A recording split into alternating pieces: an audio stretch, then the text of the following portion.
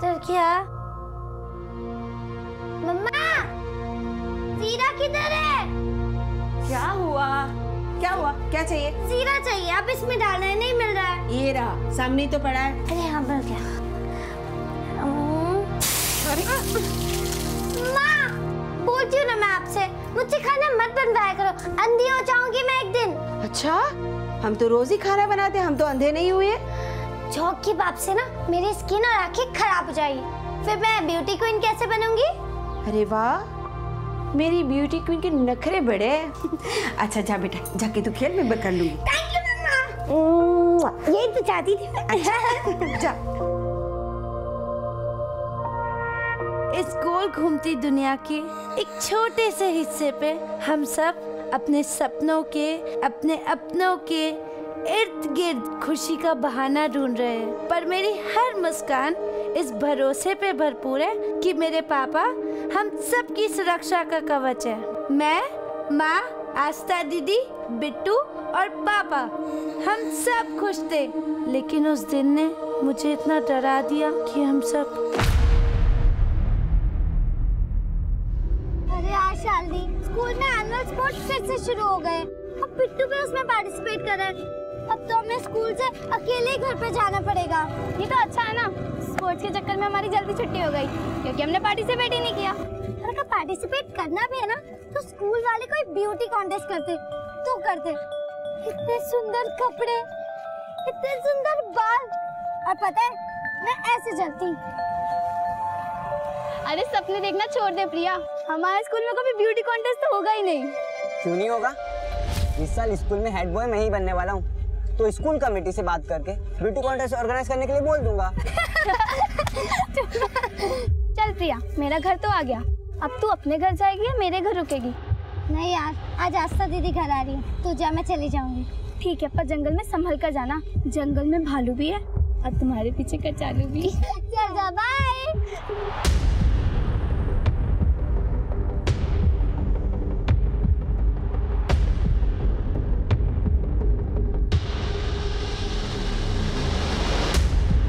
Okay मेरा घर तो आ गया। तुम अकेली हो। क्या मैं तुम्हें छोड़ दूँ? नहीं नहीं नहीं। तू जा। मैं चली जाऊँगी। रास्ते में भालू मिल गया तो? मैं नहीं डरती किसी बालों से और नहीं किसी कचालू से। ये ले अपनी छतरी। अरे रख रख। बाद में दे देना। नहीं नहीं रख। जा मैं जा रही बाय बाय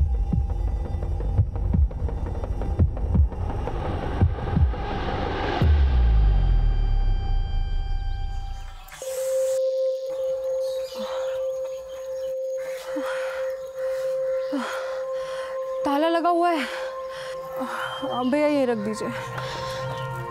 अरे आस्था आ गई बेटा। मम्मी। क्या माँ? ससुराल से मायके मैं आई हूँ और यहाँ कोई है ही नहीं मेरा वेलकम के लिए। कहाँ है बिट्टू और प्रिया? अरे बिट्टू की तो स्पोर्ट डे की तैयारी चल रही है तो अपने दोस्त के घर ही रुक गया है। हर प्रिया आ ही रही थी पर पता नहीं अब तक क्यों नहीं पहुँची है। मैं तो अड़ोस पड़ोस में भी पूछ के आ गई कि कहीं खेल ना रही हो किसी के घर पर वो किसी के घर नहीं है। वो अकेली आ रही थी क्या? नहीं वो शालिनी के साथ आ रही थी। पर शालिनी का घर तो बहुत पहले पड़ जाता है ना। तो रुको मैं फ़ोन करती हूँ शालिनी को। शालिनी जरा देखना किसका फ़ोन है। हेलो? हाँ शालिनी मैं आस्था बोल रही थी। प्रिया अभी तक घर नहीं पहुँची? घर नहीं पहुँची? पर प्रिया तो चली गई थी और अभय भी था उसके साथ। अभय? नंबर है तुम्हारे पास उसका?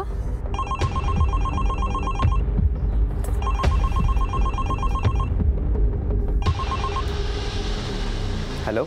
हेलो अभय बेटा। मैं प्रिया की माँ बोल रही हूँ। शालिनी ने बताया कि तुम प्रिया के साथ आ रहे थे पर प्रिया अभी तक घर नहीं पहुँची है। क्या? पर आंटी जी मेरे घर वाले रास्ते तक तो प्रिया मेरे साथ ही थी। पर अभय बेटा वो अभी तक घर नहीं पहुँची तो फिर कहाँ रह गई?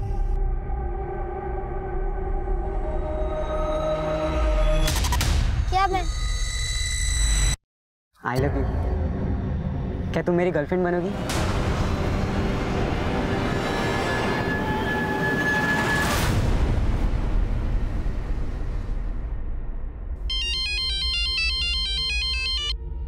हाँ बोलो। क्या? अरे रात हो गई बेटी अब तक घर नहीं आई है। और तुम अब बता रही हो मुझे। भारी दुकान बंद करो चलो जल्दी।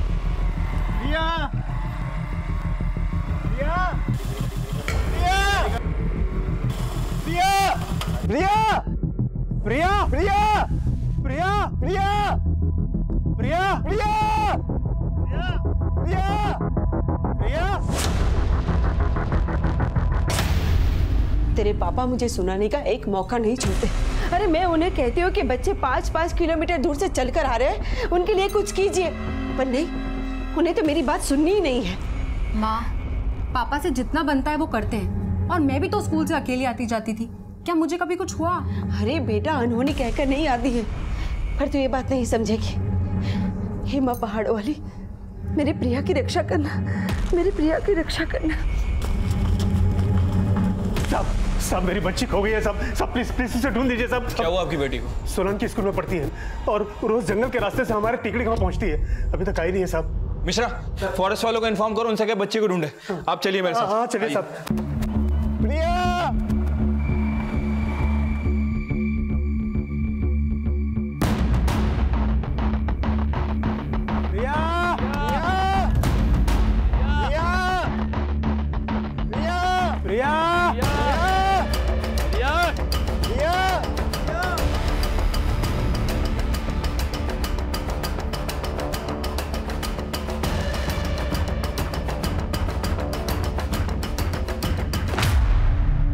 रात भर प्रिया की तलाश जारी रही लेकिन सुबह तक कुछ पता नहीं चला।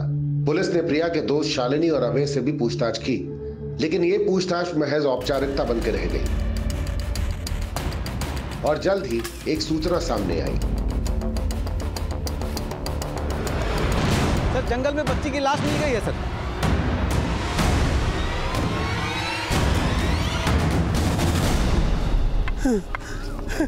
प्रिया मेरी बच्ची।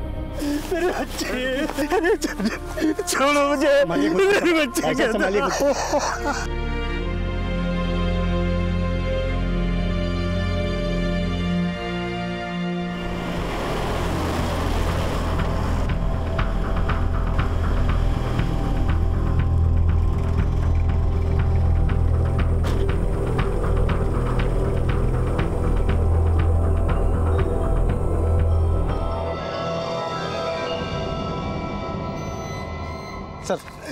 साहब। ये देखिए साहब मेरी बच्ची।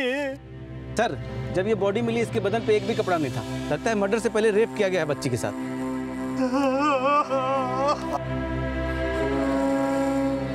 ये क्या कर रहे हैं आप लोग? बंद कीजिए कैमरा बच्ची की डेथ हो गई यहाँ पे फ़ोटो निकाल रहे हैं। बंद कर!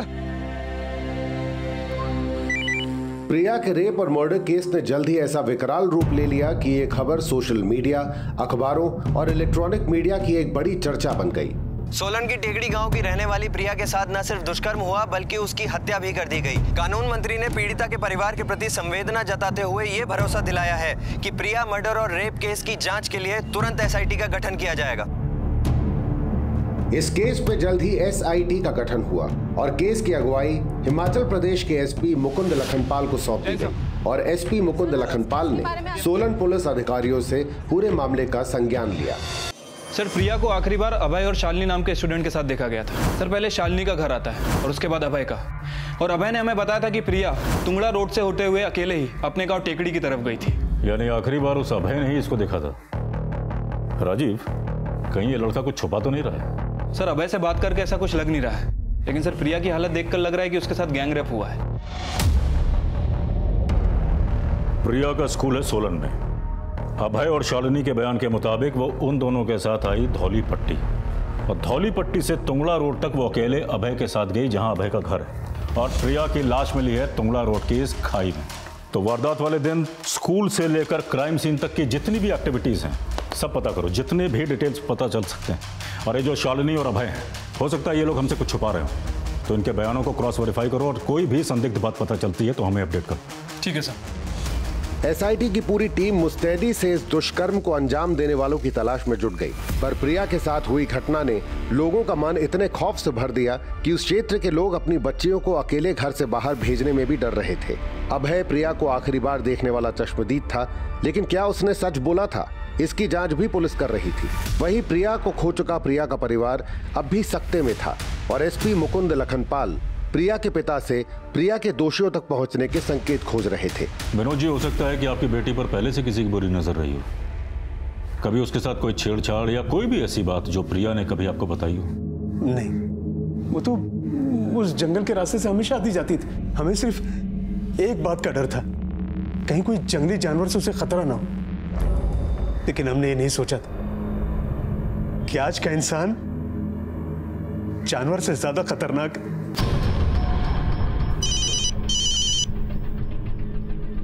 हाँ राजीव बोलो। सर टुंगड़ा रोड जिस रास्ते से प्रिया अपने घर की तरफ़ जा रही थी। सर उसी रास्ते पे आगे अभिषेक का गोडाउन पड़ता है। और सर स्थानीय लोगों के मुताबिक जिस शाम प्रिया के साथ ये हादसा हुआ अभिषेक को अपने गोडाउन में काम करने वाले वर्करों के साथ शराब पीते हुए देखा गया। तो हो सकता है प्रिया का गैंग रेप इन शराबियों ने किया हो।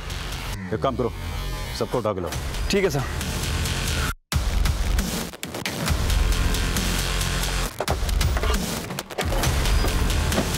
नाम क्या तेरा? बीजू साहब। अभिषेक कहाँ है? क्या हुआ सर? मैं ही अभिषेक हूँ। सिराज विभास बाबू और रूपक ये चारों कौन है और इस वक्त कहाँ है? सर सर ये सिराज है और बाकी सब पार्टी को डिलीवरी देने गए लेकिन बात क्या है?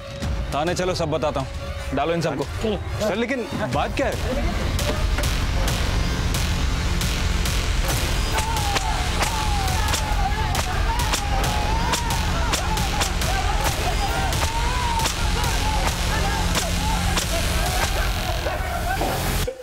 बोल। सर हम मानते हैं कि कल हम सब साथ में थे लेकिन ना मैंने कुछ किया है और ना ही मेरे वर्कर्स ने। साहब प्रिया को हमने बचपन से बड़ा होते हुए देखा है। हमारे गाँव की लड़की है वो, उसके साथ हम ऐसा क्यों करेंगे? साहब आपको कोई गलतफहमी हुई होगी साहब। सर आप यूँ हम पर झूठा आरोप नहीं लगा सकते। तिकड़ी गाँव का पुराना खानदानी आदमी हूँ मैं। खानदान तो तेरा रहा नहीं और जो लोग तेरे साथ काम करते हैं उनके साथ मिलकर एक बच्ची का रेप और मर्डर करते हो तुम लोग। ये ऐसे नहीं बताएगा। कस के तोड़ो इन सबको। इनकी एकता ऐसे टूटने वाली नहीं है सबका डीएनए करवाओ। और वो लड़की की पोस्टमार्टम रिपोर्ट का स्टेटस क्या है? सर रिपोर्ट आने में अभी एक हफ़्ता और लगेगा।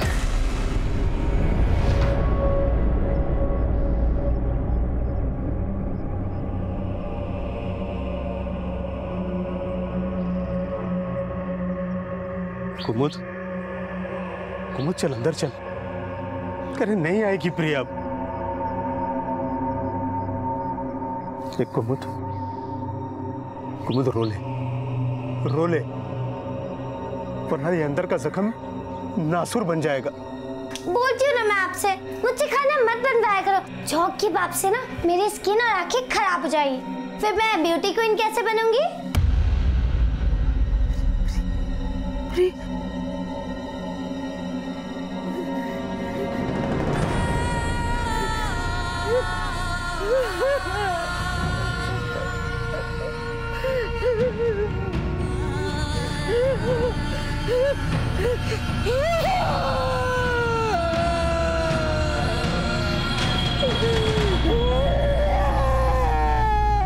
देखिए पीड़िता प्रिया की हत्या और उसके साथ दुष्कर्म करने वाले छह संदिग्धों को हम लोगों ने हिरासत में लिया है। वो सब के सब उसके गाँव के ही हैं। ये भी सामने आया है कि अक्सर प्रिया स्कूल से घर वापस जाते वक्त अभिषेक टेहरी की जीप से लिफ्ट लिया करती थी। वारदात वाले दिन ये अभिषेक टेहरी और उसके पाँच कर्मचारी टुंगड़ा रोड के पास शराब पीते हुए नज़र आए थे। और हमें पक्का यकीन है कि वारदात वाली शाम पहले इन लोगों ने पीड़िता प्रिया को लिफ्ट दी अपनी जीप में। फिर जंगल के बीच ले जाकर उसके साथ दुष्कर्म किया और उसकी हत्या कर दी। पुलिस डिपार्टमेंट को पीड़िता और उसके परिवार के साथ पूरी सहानुभूति है। और हम उसके दोषियों को कड़ी से कड़ी सजा दिलाने के लिए प्रतिबद्ध हैं। हम उन छह लोगों का डीएनए टेस्ट भी करवा रहे हैं और बहुत जल्द उन्हें अदालत में पेश किया जाएगा।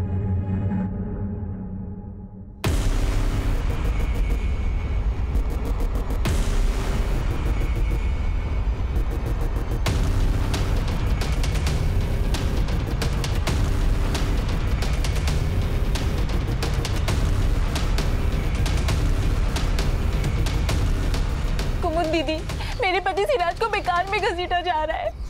उसने कुछ नहीं किया था प्रिया के साथ। विनोद जी मेरे बेटे बीजू ने भी कुछ नहीं किया।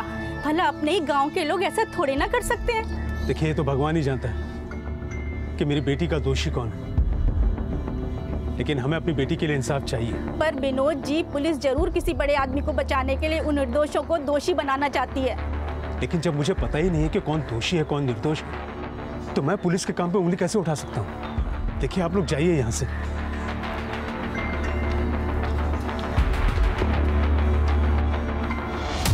सर इन सब की एकता टूटती हुई नज़र आ रही है। हालाँकि सर उन्होंने कबूल नहीं किया है कि प्रिया का मर्डर और रेप उन्होंने ही किया है। लेकिन सर जब हम इनका डीएनए टेस्ट करा के इन्हें थाने रिटर्न ला रहे थे तो वो लोग आपस में लड़ने लगे और एक दूसरे पर इल्ज़ाम लगाने लगे कि ये सब तेरी वजह से हुआ है तेरी वजह से हुआ। हटो बीजो साले तेरी वजह से हमें सब झेलना पड़ रहा है। मेरी वजह से क्या बोल रहा है बेसिराज कोठे पे कौन जाता था? चोल किसको लगी थी? कमीने साले खुद की बीवी तो संभालता नहीं है मुझे बोल। छोड़ दे एक काम करो इन सबको एक ही लॉकअप में बंद करो और ऑब्ज़र्व करो। हो सकता है डीएनए टेस्ट की रिपोर्ट आने से पहले इनका कबूलनामा आ जाए। ठीक है सर। मैं डर गई मैं डर गई। पापा बचाओ। मैं शेर हूँ।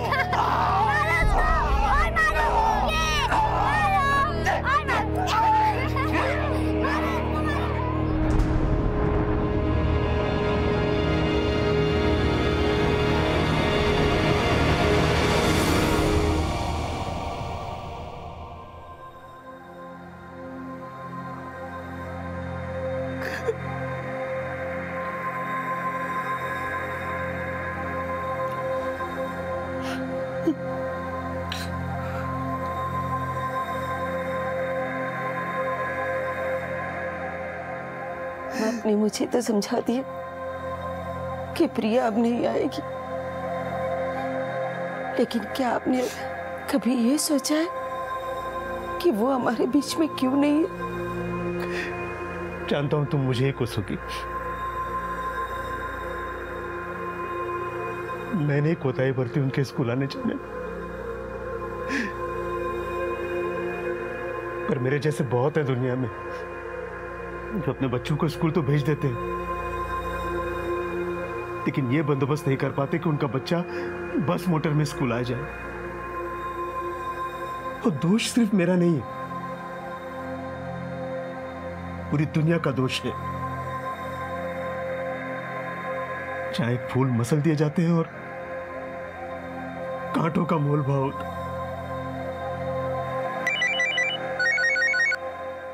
हाँ। जी, बोलो। What?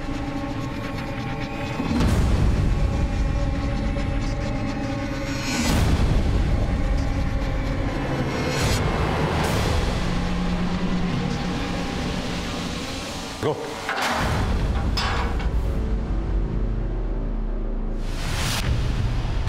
किसने मारा इसको किसने मारा इसको एसआईटी के इन्वेस्टिगेशन में सामने आए छह सस्पेक्ट्स में से एक, सिराज की कस्टोडियल डेथ ने। इस केस में विरोध की ऐसी चिंगारी फूंक दी कि इन छह सस्पेक्ट्स के परिजन पुलिस की कार्यशैली पे सवाल उठाने लगे। मेरे पति निर्दोष थे। उन्होंने प्रिया के साथ कुछ नहीं किया था। पुलिस ने उन पे झूठा आरोप लगा के मारा। सिराज क्या? मेरा बेटा बिजू और उनके मालिक अभिषेक और बाकी के सभी लोग निर्दोष हैं। पुलिस ज़रूर किसी बड़े आदमी को बचाने के लिए इन मासूमों पर अन्याय कर रही है। कस्टोडाइल डेथ के विक्टिम शिराज और बाकी पाँच लोग। क्या वाकई में प्रिया के गैंग रेप और मर्डर के दोषी हैं? अगर ऐसा है तो उन सभी सस्पेक्ट के परिजन जो बोल रहे हैं क्या वो सच है? अगर सच है तो वो कौन बड़ा आदमी है जिसे पुलिस बचाने की कोशिश कर रही है? सोलन पुलिस! सोलन पुलिस!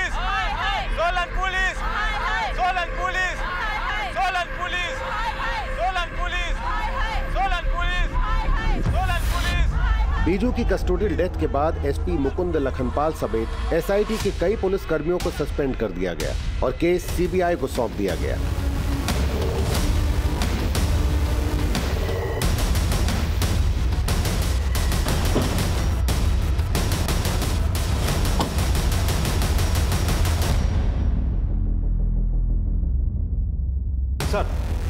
प्रिया गैंगरेप और मर्डर केस के छह संदिग्धों में से एक। सिराज के कस्टोडियल डेथ की एसआईटी ने जो रिपोर्ट दी थी उसमें लिखा है कि सिराज का बाकी पाँच सस्पेक्ट से झगड़ा हुआ था। और जब ये झगड़ा हुआ उस वक्त ड्यूटी कर रहा कांस्टेबल टॉयलेट गया था और जब वो वापस आया तब तक सिराज मर चुका था। लेकिन सिराज कैसे मारा गया?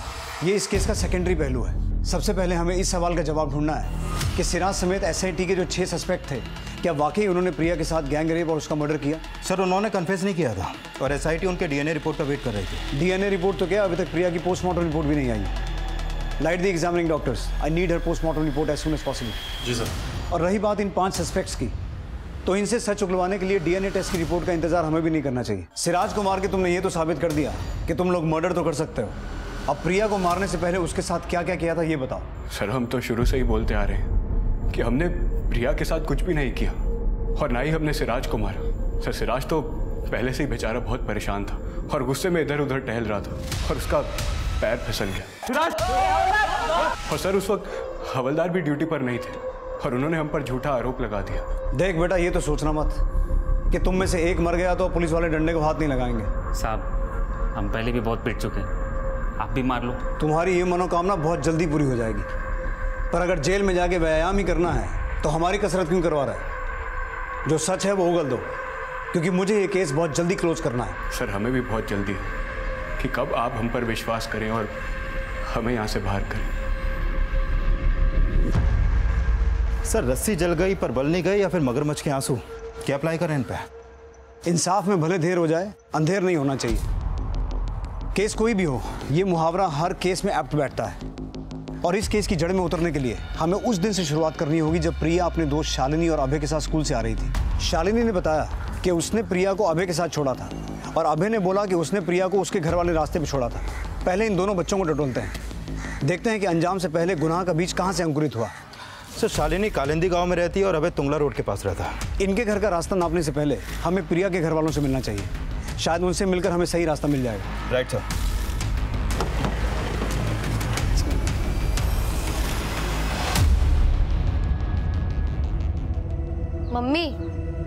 टी शर्ट का बटन टूट गया कल स्कूल में फुटबॉल मैच भी है। सील दो ना। क्या ज़रूरत थी तुझे फुटबॉल मैच में हिस्सा लेने की? अगर उस दिन तू अपनी बहन के साथ होता ना तो आज वो हमारे साथ होती।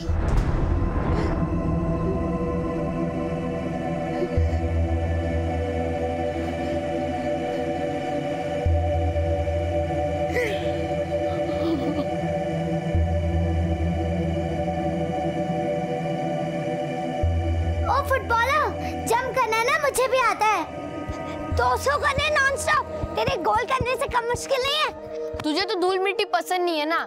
फिर क्यों नंगे पैर रस्सी कूद रही है? पागल रस्सी कूदने से ना हाइट बढ़ती है और मिस वर्ल्ड बनने के लिए ना लंबी हाइट की ज़रूरत है समझा? अरे लेकिन तू मिस वर्ल्ड बनेगी कब? अभी 16 क्यों ना? जब अच्छा किया जाऊँगी तब काउंटडाउन शुरू। अरे पहले पापा से तो पूछ ले कि वो तुझे मिस वर्ल्ड बनाएँगे या नहीं। हम्म तुझे फुटबॉलर बना सकता हूँ। तो प्रिया को मिस वर्ल्ड नहीं बना सकता? वेरी गुड बेटा वेरी गुड हाँ कितना हुआ? 125 126 120 आउट हो गई आउट हो गई आउट हो गई।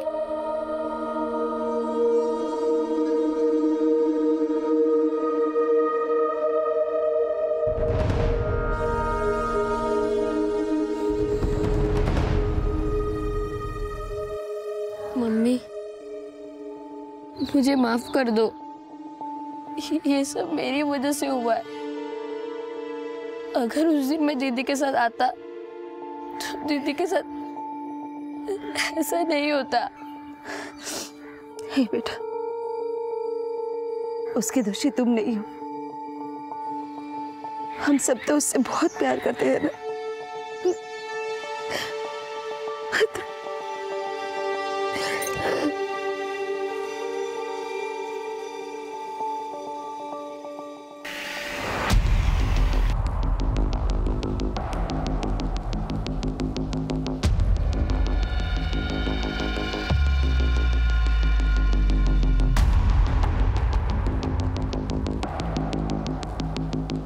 प्रिया के साथ जो कुछ भी हुआ था वो या तो प्रिया जानती थी या उसके दोषी। लेकिन प्रिया को आखिरी बार सही सलामत उसके दोस्तों ने देखा था शालिनी और अभय ने तो आपको कभी भी ऐसा लगा कि वो दोनों बच्चे आपसे कुछ छुपा रहे हैं?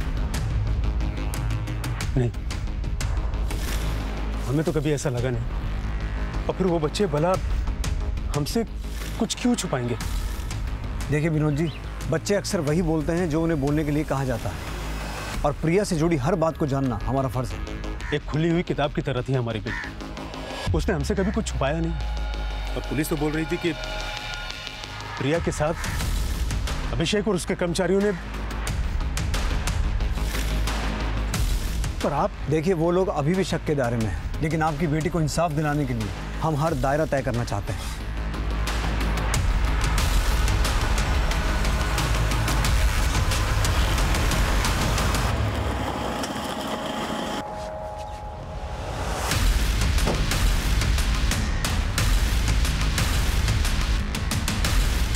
सुनिए। शालिनी। जी। सर मैंने पहले भी बोला था सबको कि प्रिया मेरे साथ मेरे घर तक ही थी और उसके बाद वो अभय के साथ चली गई थी। बेटा हम आपसे सिर्फ़ इतना जानना चाहते हैं कि अभय और प्रिया कैसे दोस्त हैं? मेरा मतलब है अभय प्रिया के साथ कुछ नहीं सर वो तो प्रिया से प्यार करता था। लेकिन ये बात हमें पहले किसी ने बताई नहीं। आपने ये बात पुलिस को बताई थी? नहीं। पर वो सब अभय पे शक कर रहे थे। और मैंने इस बारे में अभय से बात भी की थी। अभय सच सच बता प्रिया को भालू ने गायब किया है या तू कुछ छिपा रहा है? पागल हो गया शालिनी। मैं प्रिया से प्यार करता हूँ। और मैंने उसके साथ ऐसा कुछ भी नहीं किया। लेकिन तूने उसको घर तक क्यों नहीं छोड़ा? मैंने बोला था उसको। लेकिन वो सुनती ही कहाँ है किसी की? ओके मेरा घर तो आ गया। तुम अकेली हो। क्या मैं तुम्हें छोड़ दूँ? नहीं नहीं नहीं। तू जा। मैं चली जाऊँगी। मैंने सोचा भी था कि उसके पीछे पीछे चला जाऊँ। लेकिन काश में चला गया होता तो ये सब नहीं होता। बेटा आपने बताया कि अभय प्रिया को पसंद करता था लेकिन क्या प्रिया अभय को पसंद करती थी? पसंद तो करती थी लेकिन प्रिया ने मुझे कभी नहीं बताया कि अभय ने उसे प्रपोज किया था। सर मैंने उस दिन प्रिया को पहली बार प्रपोज किया था। उसके बाद तो तो वो शालिनी को कैसे बताती? मतलब तुम्हारे पहली बार प्रपोज करने के बाद ही प्रिया के साथ ये सब हो गया। और अब तो हम प्रिया से ये बात कंफर्म भी नहीं कर सकते। कि उसने तुम्हारा प्रपोजल एक्सेप्ट किया था या डिनाई किया था? नहीं सर उसने डिनाई नहीं किया था। एक्सेप्ट किया था? प्रिया! प्रिया! रुको प्रिया! क्या मैं तुम्हें पसंद नहीं हूँ? मुझे क्या? पूरे स्कूल को तुम पसंद हो। अबे तुम बहुत अच्छी लड़की हो लेकिन मैं तुम्हारी गर्लफ्रेंड नहीं बन सकती। ओके ठीक है। गर्लफ्रेंड नहीं तो फ्रेंड तो बन सकते हो ना? वो तो मैं हुई लेकिन वो वाला गर्लफ्रेंड बॉयफ्रेंड वाला नहीं। देखो जब मैं बड़े होके ब्यूटी क्वीन बहुत बड़ी स्टार बन जाऊँगी ना तब हम एक गर्लफ्रेंड बॉयफ्रेंड के मामले में सोचेंगे ठीक है? तब तक के लिए हम बी एफ़ बीएफएफ होंगे बेस्ट फ्रेंड फॉर ठीक है? अबे कुछ छुपा नहीं रहना नहीं सर मैं कुछ नहीं छुपा रहा हूँ। सर एन ओल्ड फ्लेम और an old head on young shoulder क्या अप्लाई करें इस लड़के पे? किताब के कवर को देखकर किताब का अंदाज़ा नहीं लगाया जा सकता। पर सर मीडिया और उन छह संदिग्धों के परिवारों का आरोप है कि किसी बड़े आदमी को बचाने के लिए उन लोगों को फंसाया जा रहा है। अब थ्योरी चाहे मीडिया की हो या बरगलाई हुई जनता की उसको चेक करने में कोई हर्ज नहीं है। और जब तक डीएनए और पोस्टमार्टम रिपोर्ट नहीं आती बाकी छह सस्पेक्ट्स के परिवार वालों को भी टटोलो। क्योंकि सिराज की मौत का उन्होंने भी काफ़ी बवाल मचाया था। साहब सिराज जी ने कुछ नहीं किया था। उन्हें फंसाया गया था। साहब मेरे बेटे को फंसाया जा रहा है। जिस शाम प्रिया के साथ ये सब कुछ हुआ वो मुझे अस्पताल लेकर गया था। लेकिन उस शाम तो आपके बेटे को अभिषेक और उसके दोस्तों के साथ शराब पीते हुए देखा गया था। और आप कह रही हैं मैं मानती हूँ वो वहाँ गया था लेकिन फिर वो मेरे पास वापस आ गया था और उसके बाद मुझे अस्पताल लेकर गया था। सिराज और बीजू के बाद सीबीआई ने बाकी सस्पेक्ट्स के परिजनों से पूछताछ की। वहीं इस केस में अभय और उसके पिता की भूमिका को भी टटोला जा रहा था। प्रिया को खो चुका उसका परिवार इस मुश्किल परिस्थिति से उबरने का प्रयास कर रहा था। लेकिन प्रिया के साथ क्या इंसाफ होने वाला था, ये अब भी जाँच का विषय बना हुआ था। सर, ये प्रिया की पोस्टमार्टम रिपोर्ट। इस रिपोर्ट के मुताबिक उसकी मौत उसी शाम हुई, जिस दिन उसे शालिनी और अभय के साथ देखा गया। सर, प्रिया का लेफ़्ट हैंड और लेफ़्ट लेग दोनों फ्रैक्चर किया गया था और उसकी मौत दम घुटने से हुई थी। सर इस रिपोर्ट में सबसे चौंकाने वाली बात यह सामने आई है कि प्रिया के साथ गैंगरेप नहीं हुआ था। प्रिया की बॉडी से सिर्फ़ एक ही डीएनए सैंपल मिला था यानी उसका रेप सिर्फ़ एक ही इंसान ने किया था। लेकिन उन छह में से कौन एक? सिराज या बाकी पाँच में से कोई एक? सर ये तो उन छह की डीएनए रिपोर्ट आने से ही क्लियर होगा। लेकिन सर बीजू के बारे में पता चला है कि उसका सेक्स वर्कर्स के यहाँ आना जाना था। डीएनए टेस्ट की रिपोर्ट कब तक आएगी? सर चार पाँच दिन और लग जाएँगे। प्रिया की पोस्टमार्टम रिपोर्ट ये थ्योरी बना रही है कि प्रिया का रेप और मर्डर बीजू के हाथों हुआ। लेकिन बीजू के साथ साथ उन पाँचों को भी एसआईटी उठा के लेके आई। सिराज ने भी पहले बीजू को ब्लेम किया था। बीजू साले तेरी वजह से हमें सब झेलना पड़ रहा है। उसके बाद सिराज की कस्टोडियल डेथ और एसआईटी की ये रिपोर्ट कि उन पाँचों ने मिलकर सिराज को मारा। इसका मतलब ये भी हो सकता है कि सिराज का इस कांड में कोई हाथ हो ही ना लेकिन उन पाँचों को ऐसा लगा कि सिराज उनके बारे में कुछ जानता है और वो मुँह खोल देगा। इसलिए पहले उनका झगड़ा हुआ और झगड़ा हत्या में तब्दील हो गया। विक्रांत। उन पाँचों का नार्को टेस्ट करवाने की तैयारी करो। मुझे ऐसा लगता है कि डीएनए टेस्ट की रिपोर्ट आने से पहले ही प्रिया के रेप मर्डर और सिराज की कस्टोडियल डेथ का राज सामने आ जाएगा। Okay sir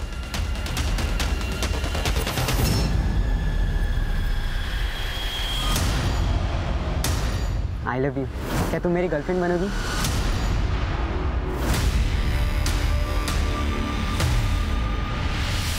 सात मार्च की शाम तुम अभिषेक सिराज बाबू रोपक विभास कहाँ शराब पी रहे थे?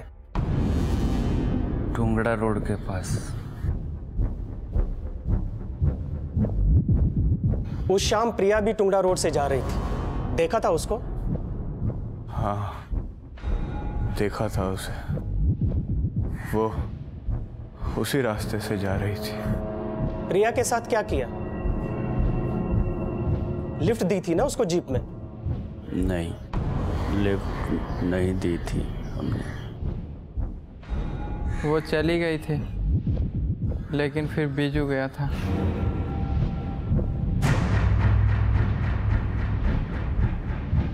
बीजू प्रिया के पीछे गया था?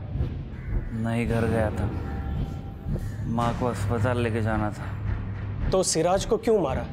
मारा नहीं उसका पैर फिसल गया था। इनके नार्को टेस्ट से आपके एक भी सवाल का जवाब नहीं मिला। मतलब सर ये लोग जो शुरू से बोल रहे थे उनके वही बयान क्लियर करता है नार्को टेस्ट लेकिन इनके डीएनए टेस्ट की रिपोर्ट आना अभी बाकी है।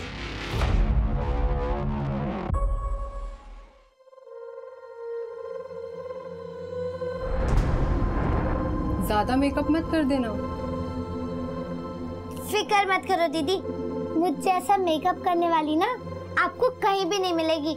और मैं इतना अच्छा मेकअप करूँगी कि लड़का आपका हो जाएगा। और फिर शादी के बाद ये कमरा मेरा। दीदी मैं आपके साथ सो जाऊ। प्रिया दीदी के जाने के बाद उस रूम में सोने से मुझे बहुत डर लग रहा है। कोई बात नहीं बिट्टू आ जाओ।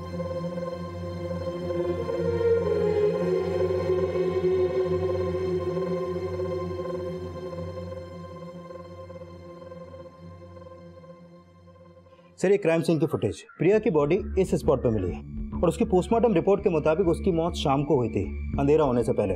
सर, रात होने तक इस एरिया में लोगों का आना जाना लगा रहता है। सर, जिस तरीके से प्रिया के रेप से पहले उसके साथ स्ट्रगल किया गया, उससे साफ़ है कि वो चिल्लाई भी होगी। लेकिन इस केस में अभी तक कोई विटनेस सामने नहीं आया। तो सर, हो सकता है कि प्रिया को कहीं और मारा गया हो और उसकी बॉडी को डंप यहाँ पर कर दिया हो। विक्रांत, इस रास्ते पर जितने भी गाँव पड़ते हैं और जो गाँव वाले यहाँ से रोज़ाना आते जाते हैं, उन सबसे पूछताछ करो। हो सकता है किसी ने कुछ देखा हो, लेकिन किसी डर की वजह से कुछ बता नहीं रहा। ओके सर प्रिया रेप और मर्डर केस में एसआईटी की इन्वेस्टिगेशन उन छह सस्पेक्ट्स को आरोपी मानने की संभावना पर रुक गई थी। लेकिन उन छह लोगों को अपराध करते हुए किसी ने विटनेस किया था या नहीं, ये एसआईटी पता नहीं लगा पाई थी। सीबीआई क्राइम सीन के आसपास रहने वाले लोगों से पूछताछ करके 7 मार्च की शाम प्रिया के साथ हुए अपराध के विटनेसेस ढूंढ रही थी और इस बीच उन छह सस्पेक्ट्स की डीएनए रिपोर्ट आई, जिसमें से एक की कस्टोडियल डेथ हो चुकी थी। सर, उन छह लोगों की डीएनए रिपोर्ट सर, उन छह लोगों में से किसी का भी डीएनए प्रिया की बॉडी पे मिले डीएनए से मैच नहीं करता है। यस सर प्रिया का रेप और मर्डर करने वाला कोई और ही है। जिसको ढूँढने के लिए फिर से नए मुर्गे और नए मुहावरे जोड़ने होंगे, सर। वॉट अबाउट अबे सर, मुझे नहीं लगता कि अबे होगा, क्योंकि प्रिया की बॉडी पर मिले डीएनए को फिर से एग्जामिन करने के बाद सामने आया कि जिसने भी प्रिया का रेप किया, उसकी उम्र 25 से 32 साल के बीच की होगी। 25 से 32 यानी कि अब ये हमारा सर्च क्राइटेरिया होगा। विक्रांत, टिकरी और आसपास के गाँव और ज़रूरत पड़े तो पूरे डिस्ट्रिक्ट में सर्च करो। सभी पुलिस स्टेशन की मदद लो। 25 से 32 साल की उम्र के जितने भी लोग हैं सबके ब्लड सैंपल लो। और उन्हें प्रिया की बॉडी पे जो डीएनए मिला था उसके साथ मैच करवा के देखो। और हाँ 25 से 32 साल की उम्र के जितने भी लोकल क्रिमिनल्स हैं सबको तोड़ो। लेकिन सर इन पाँचों का क्या करना है? अब तो मीडिया इस सिराज के कस्टोडियल डेथ का और भी बड़ा इशू बना देगी। एसआईटी जिन छह सस्पेक्ट्स को प्रिया के गैंग रेप और मर्डर का प्राइम सस्पेक्ट मान रही थी सीबीआई ने उन छह लोगों में से पाँच ज़िंदा बचे हुए लोगों को रिलीज़ कर दिया। है लेकिन जो छठा व्यक्ति पुलिस की कस्टडी में मारा गया था उसका जवाब प्रशासन को देना पड़ेगा। और उससे भी बड़ा सवाल ये कि प्रिया के गैंग रेप और मर्डर का दोषी कौन है? विक्रांत ये लोग सिराज की मौत के लिए पुलिस को दोषी मान रहे हैं लेकिन उन पाँचों पर नज़र रखना क्योंकि सिराज की मौत के लिए वो अभी भी शक के दायरे में है। अब सोलन ज़िले में रहने वाले 25 से 32 साल के बीच के मेल हिस्ट्री शीटर्स ही नहीं बल्कि उस हर आदमी का डीएनए लिया जा रहा था जो उम्र के इस दायरे में आता था।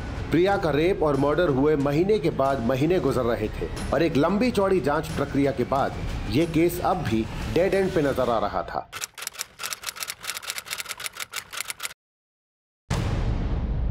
ये पता चला ये फ़ोन सर। इसका प्रिया के गाँव और आसपास के एरिया के 25 से 32 साल के लगभग 250 लड़कों के डीएनए टेस्ट करवाया लेकिन इसमें से एक का भी डीएनए प्रिया की बॉडी पे मिले डीएनए से मैच नहीं करता है।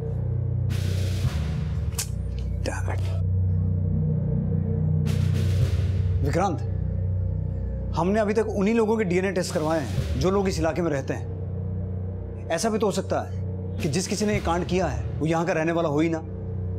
बल्कि किसी का रिश्तेदार हो जो वारदात वाली शाम को यहाँ मौजूद था। एक काम करते हैं, एडवांस डीएनए टेस्ट करवाते हैं, जैसा हमने दिल्ली वाले केस में करवाया था।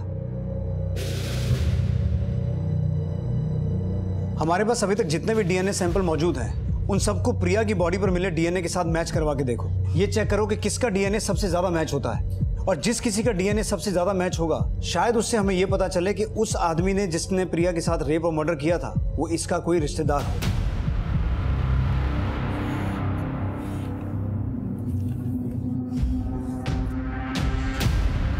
ओके मेरा घर तो आ गया। तुम अकेली हो। क्या मैं तुम्हें छोड़ दूँ? नहीं नहीं नहीं। तू जा मैं चली जाऊँगी।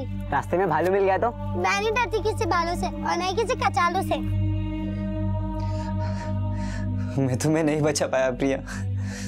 एडवांस डीएनए करके सीबीआई अब एक ऐसी कोशिश कर रही थी जो अंधेरे में तीर चलाने जैसा था और इस केस को नतीजे तक ले जाने के लिए अभी और भी मशक्कत बाकी थी।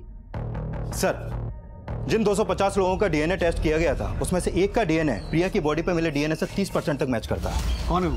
केशव चैनल टिकड़ी गाँव का ही रहने वाला। है जी देखिए सर। यानी कि इस बात के पूरे चांसेस हैं कि जिस आदमी ने प्रिया का रेप और मर्डर किया वो इस केशव चैनल का रिश्तेदार हो सकता है। इसके खानदान के सभी मर्दों की कुंडली निकालो और ये पता करो कि जिस शाम प्रिया का मर्डर और रेप हुआ इसका कौन सा रिश्तेदार इस एरिया में मौजूद था? ओके सर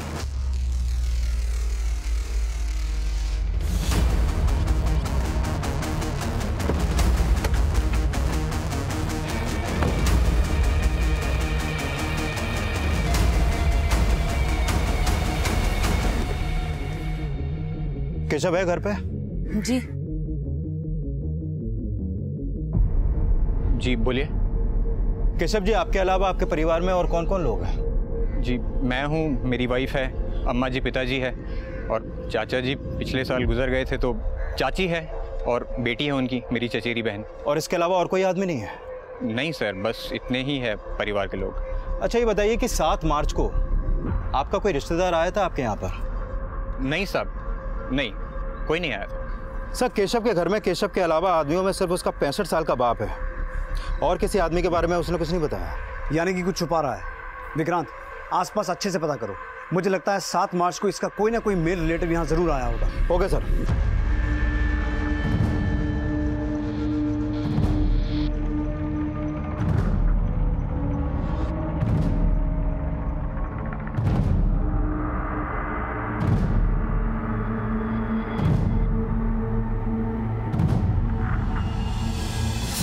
सर ये सुनील चैनल है। केशव का चचेरा भाई।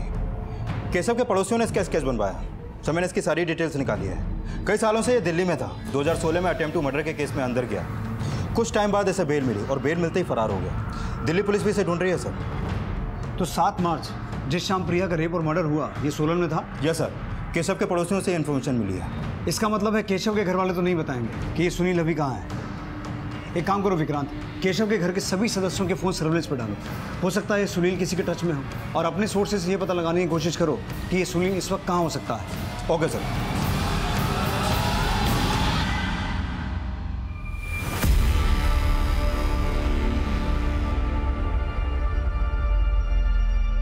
सर सुनील की माँ को सुनील का एक कॉल आया था।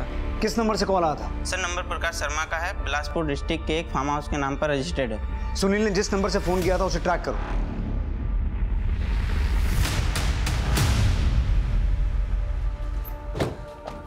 क्या हुआ? ये सुनील चलन कहाँ है? सब सुनील चलान तो यहाँ नहीं है। अंदर जाके चेक करो। साहब वो हमारे इधर दिहाड़ी मजदूरी करता था।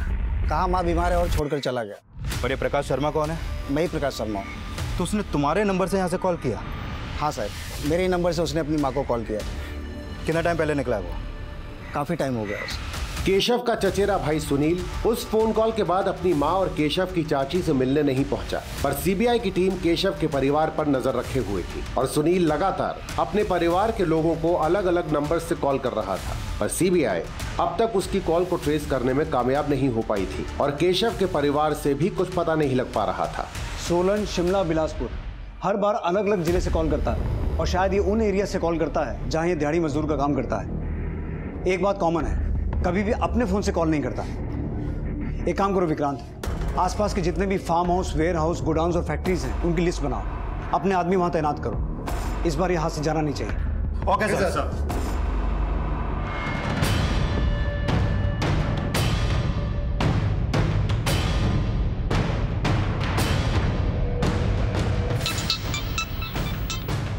hello.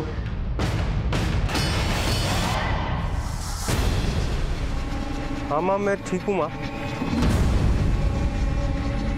और माँ, मैं मैं आऊँगा मिलने तुझसे जल्दी। ठीक है, मैं रखता हूँ।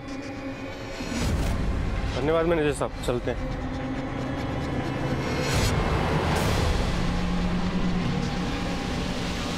जाने से पहले हमसे नहीं मिलोगे?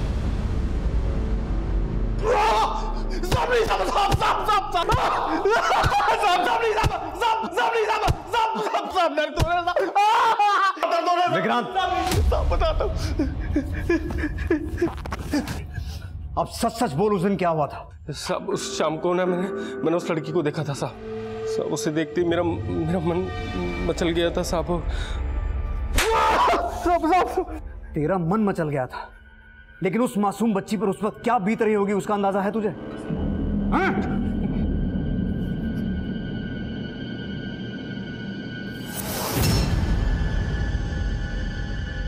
सुनील ने अपना गुनाह कबूल कर लिया और उसका डीएनए। प्रिया की बॉडी पे पाए गए डीएनए से मैच भी हो गया। सुनील पे प्रिया के रेप और हत्या का केस फ़ाइल किया गया। लेकिन सिराज की कस्टोडियल डेथ क्यों हुई थी, इसकी अब भी जाँच चल रही है। लेकिन प्रिया को मिला इंसाफ भी उसके परिवार में प्रिया की कमी दूर नहीं कर पाएगा। जंगली भालुओं से डरना, उनसे सतर्क रहना सिखाया। पर यह बताना भूल गया कि इंसान किसी भी जंगली जानवर से ज़्यादा खतरनाक है।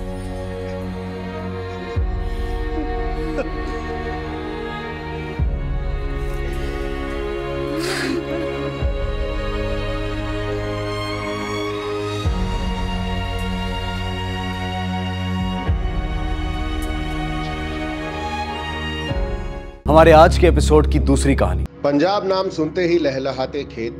खेतों के परे फलते फूलते उद्योग, हँसते खेलते चेहरे और विकसित शहरों की छवि आँखों के सामने तैर जाती है। लेकिन क्या पंजाब के शहर और वहाँ के बाशिंदे उतने ही महफूज हैं जितना हम समझते हैं?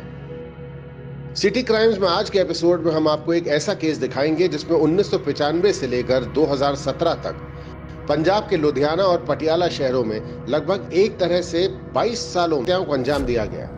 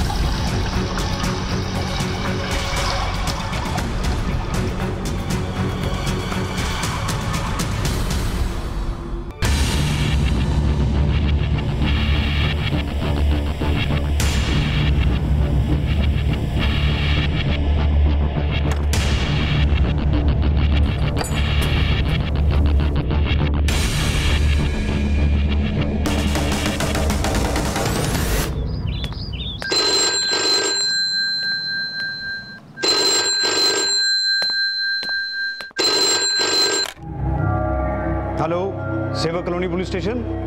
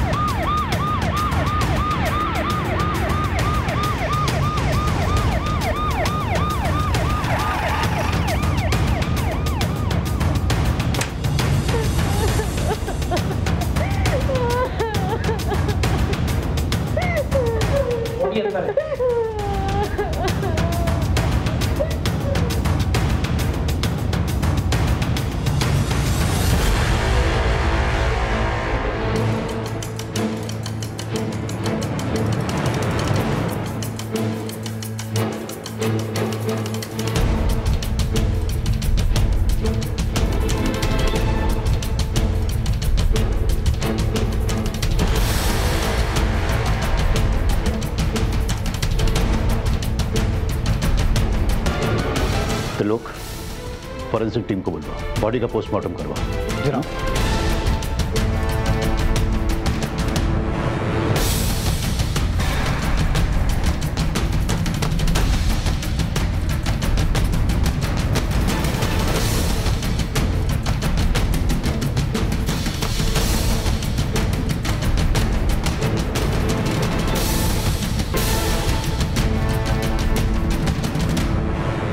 स्टेशन फ़ोन आपने किया था?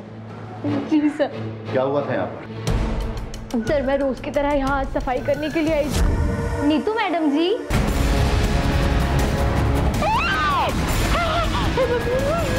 मैडम जी साहब ये सब देख के मेरे हाथ पैर फूल गए थे। इसके लिए मैंने घबराहट में पुलिस स्टेशन फ़ोन कर दिया इनके अलावा और कौन कौन रहता है? नीतू मैडम जी के पति। तो अभी वो कहाँ है? साहब वो अभी शहर के बाहर गए हैं। वो घूमने फिरने वाला काम करते हैं मेडिकल दवाइयों का। महीने में सिर्फ़ चार पाँच दिन ही घर पर रुकते हैं। जनाब नौकरानी कह रही है पति बाहर टूर पे गया हुआ है। पत्नी घर अकेली थी और घर में कोई फोर्स एंट्री भी नहीं है। हर चीज़ अपनी सही जगह पर। सिर्फ़ बेडरूम के बेड के एक पाई के नीचे से ईंट हटाई गई है। मुझे तो शक है कि मर्डर भी इसी से हुआ है। जनाब आपके कहने का मतलब है किसी जानने वाले ने मारा है जिसके लिए नीतू ने खुद दरवाज़ा खोला। तो लोग इनके रिश्तेदारों और सारे जानने वालों की एक लिस्ट बनाओ। सबसे अच्छी तरीके से पूछताछ करो। हमारा मिस्टर खुराना से मिलना बहुत ज़रूरी है। उन्हें तुरंत पुलिस स्टेशन बुलवाओ जनाब। तुम यहाँ रहने वाले सभी लोगों को तो जानते ही हो। लेकिन यहाँ के बाशिंदों के अलावा किसी अनजान आदमी को तो यहाँ आते जाते नहीं देखा। सवेरे ऑटो से एक घर वाली मैडम आई थी। वो तो घर के अंदर चली गई। ऑटो वाला और उसके साथ कोई और आदमी था जो आपस में बातें करते रहे। थोड़ी देर के बाद दोनों चले गए। फिर ऑटो ड्राइवर वापस लेकर आया रिक्शा और अंदर चला गया। उन दोनों की शक्लें याद हैं? शक्ल तो याद नहीं था। लेकिन हाँ दोनों सरदार थे। लोग ऑटो स्टैंड से जाके पता करो। आज सवेरे कौन सा ऑटो वाला उन्हें यहाँ लेकर आया?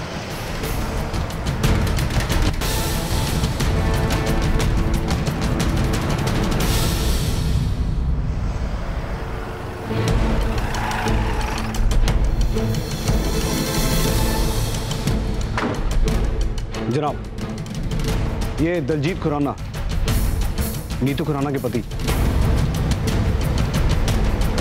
अंदर ले आएँगे मैं अमान हूँ जी। Medical representative. आप दोनों के रिश्ते में कोई दिक्कत थी? बारह साल हो गए सर जी शादी को।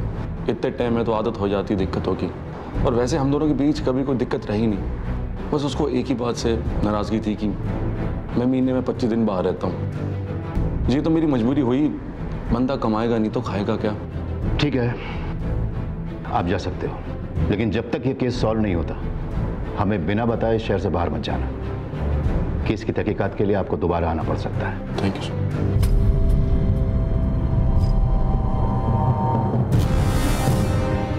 तो लोग कुछ नोटिस किया? जी इसकी बीवी का मर्डर हो गया लेकिन चेहरे पर शिकन तक दिखाई नहीं दी। और एक बात शादी को 12 साल हो गए हैं लेकिन बच्चा नहीं है। ये बात थोड़ी अजीब है जनाब। मैं भी यही सोच रहा था। जनाब उस ऑटो वाले का पता चल चुका है। जोगिंदर सिंह नाम है उसका। वैसे लोग उसे लकी बुलाते हैं। वही गया था मिसेस खुराना को छोड़ने।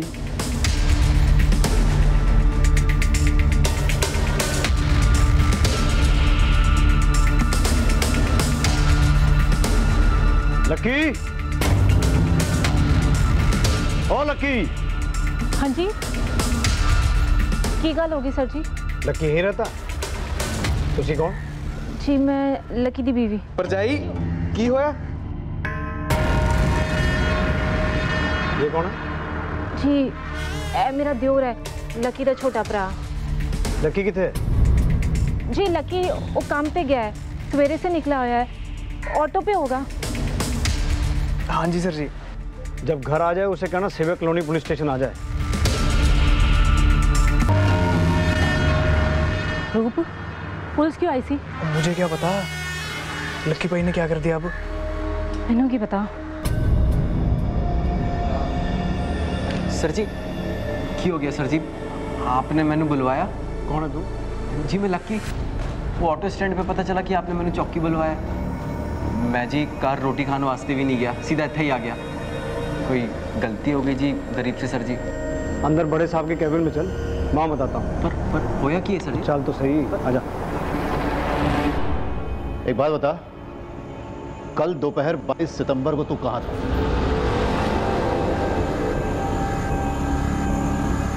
सर जी कल तो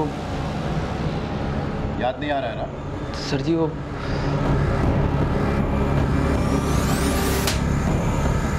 अब याद आया?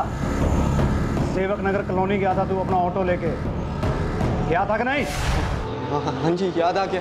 वो एक, एक मैडम ने छोड़न गया सी रूप भी तो था साथ में हाँ जी ਕੀ ਹੋਇਆ ਯਾਰ ਅੱਗੇ ਤੱਕ छोड़ दे यार चल ਉਹ ਤੈਨੂੰ ਤੈਨੂੰ ਦਿਸਦਾ ਨਹੀਂ ਗੱਡੀ ਸਵਾਰੀ ਬੈਠੀ ਹੈ और मैंने कौन सा सवारी के ऊपर बैठ के जाना है यार हमने एक ही जगह जाना है इनको छोड़ते हुए निकलते हैं। चल चल सही रोक दो थे जी मैडम जी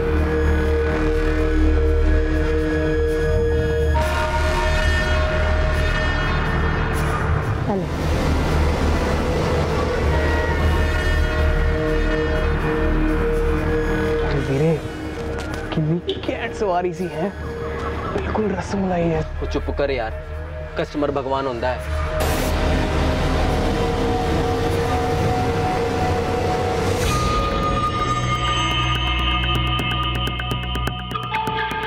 चल भी मज़ा आ गया। तो तेरी लगता है वो मैडम जी अपने परसोटो में ही भूल गई यार। वापस देने जाना पड़ेगा। ओ पागल हो गया तू लक्की। तो गुड लक है। एक महीने का खर्चा निकल जाएगा। सुन मैं कहता हूँ अभी निकलते हैं। दो दो लिटिल लिटिल मारते हैं और फिर पिक्चर वो तू रहने दे यार। मैंने नहीं करनी किसी दूसरे के पैसे पैश मैं ये अभी वापस करने जाऊँगा। वो वापस करने जा रहा है तो मैं चले जाता हूँ। सुन भाई वापस करते हो अगर हल्का सा भी टच हो गया ना रसमलाई पानी आ गया मुँह में फिर शुरू हो गया ना वीरे। पर तू नहीं मैं वापस देने जाऊँगा। चल तू। ओ यार लक्की जा तू। जाने दे यार। जा तू। लक्की यार बात तो सुन ले। ओ लक्की यार वीरे प्लीज़ यार। लक्की ओए लक्की ओए लक्की। ओ चल ओ चल मैं नहीं तू ले रही हूँ मुझे और बाद में बता दियो स्वाद कैसा था? सर जी मैं उनके घर गया उनको पर्स दिया। उन्होंने वो जो थैंक यू वैंक यू बोला फिर मैं वापस आ गया। बस ये नहीं हुआ सर जी। अच्छा। इतना ही हुआ था? और सच बोलेगा या और दूँ प्रसादा? मैं दसदा सर जी मैं दसदा मैं मैं, मैं दसदा सर जी। मैं उनके घर गया। उन्हें दरवाज़ा खोला। मैंने उनको पर्स दिया। वो तौलिए में थी सर जी। उन्होंने पर्स लिया और उनका तौलिया गिर गया। सर जी मैं बहुत घबरा गया था सर जी। फिर उनने मैंने अंदर खींच लिया सर जी। मैं सच कह रहा हूँ सर जी मैंने कुछ नहीं किया सर जी मैंने कुछ नहीं किया। ऐसा ही हुआ था? हाँ जी सर जी। पर लोग क्या लगता है? मस्त राम की कहानियाँ सुना रहा जनाब। वो भी हम पुलिस वालों को। आप मुझे दस मिनट का टाइम दो जी। इसके पेट से सच मैं निकलवाता हूँ। मैं मैं मैं सच कह रहा मैं सच कह रहा सर जी। मैं मैं सच कह रहा। मारो सर जी। क्या करना क्या करना? मारो sir ji. Sir ji sir ji ना मारो सर जी। बोला कुछ? बोलेगा जी। अभी तो सेवा शुरू हुई है इसकी। जनाब।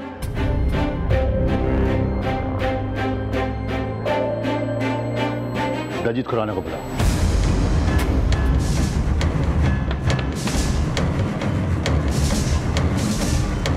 Daljit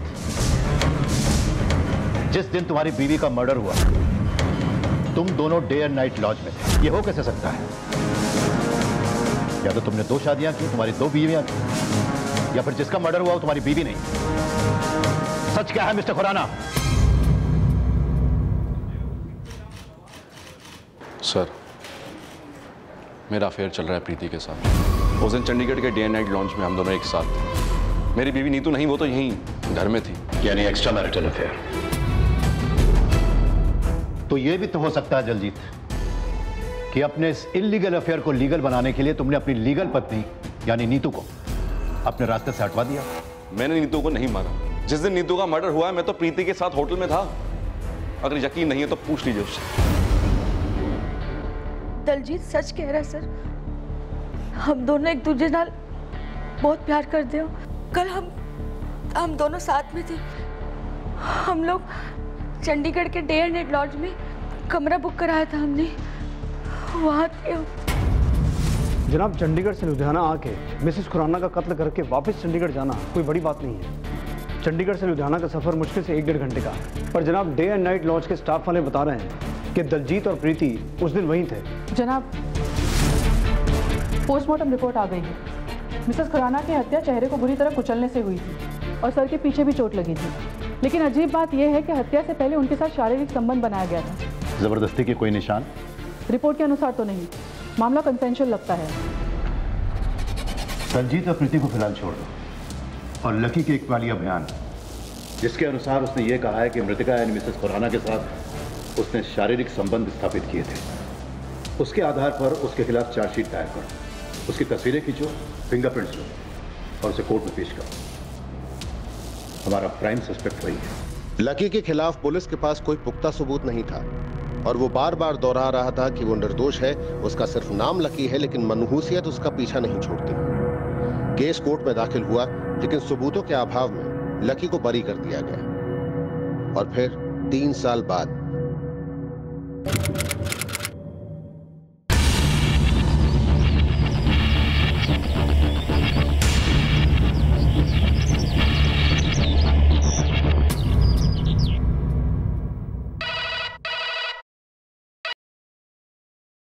Hello Tejbagh police station? Sir मेरी बीवी घर से गायब हो गई है और घर में खून के निशान है। हुकुम सिंह जी जनाब। गड्डी निकालो। जी जनाब। जनाब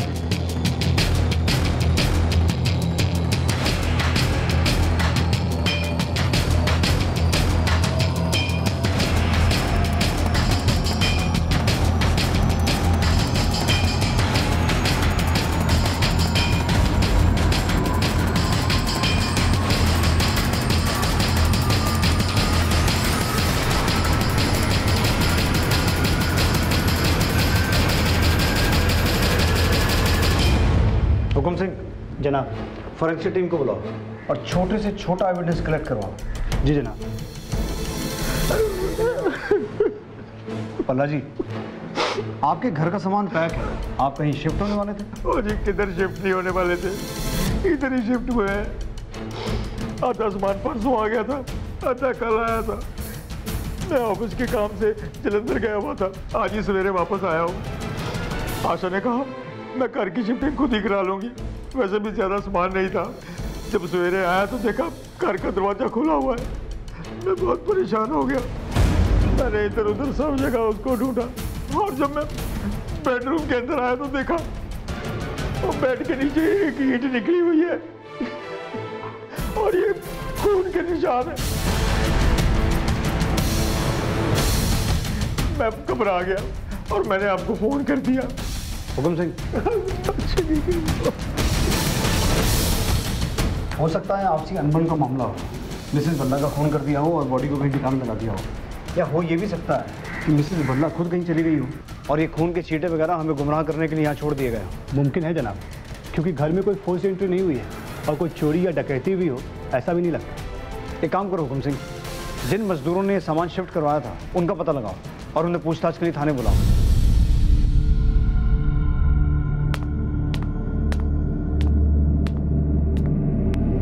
दूधा? नहीं साहब मैं नहीं था साहब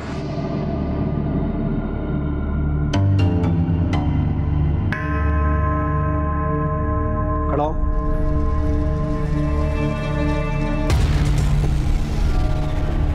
सर जी कुछ नहीं किया मैं। तेरे को मैंने पहले कहीं देखा है। नहीं साहब जी मैं मैं तो, मैं तो बहुत गरीब आदमी हूँ जी। कुछ समय पहले यहाँ खाने कमाने आया हूँ। मैं ट्रक चलाता हूँ और उस दिन सामान शिफ्टिंग करवा रहा था। लो जी पहुँच गए जी। अच्छा मैडम जी मैंने एक गल समझ नहीं आई। आप इतना मतलब इतना भारी सामान इधर से उधर आप कैसे लेके ओए खोते। सिर्फ़ बकबक करते रहेगा या मैंने हाथ भी देगा इसका नीचे उतारने वास्ते जी आ जाओ आ जाओ आ जाओ जी आ जाओ सॉरी जी सॉरी मैं भूल गया था आ जाओ देख के देख के देख के देख के पकड़ लिया जी ठीक हो ना जी आप हाँ जी ठीक आ जाओ आ जाओ जी हाँ जी चलो हम लोग बिल्कुल नहीं रुके थे जी वहाँ पे आप इन मजदूरों से पूछ लो बोल भाई हाँ साहब और तू भी बोल साहब जी ये ये अंदर गया था जी घर के ओ पैसे वापस करने वो वो मैडम जी ने दो सौ रुपये ज़्यादा दे दिए थे जी तो तो ये गया था जी अंदर। हम लोग निकल गए थे वहाँ से।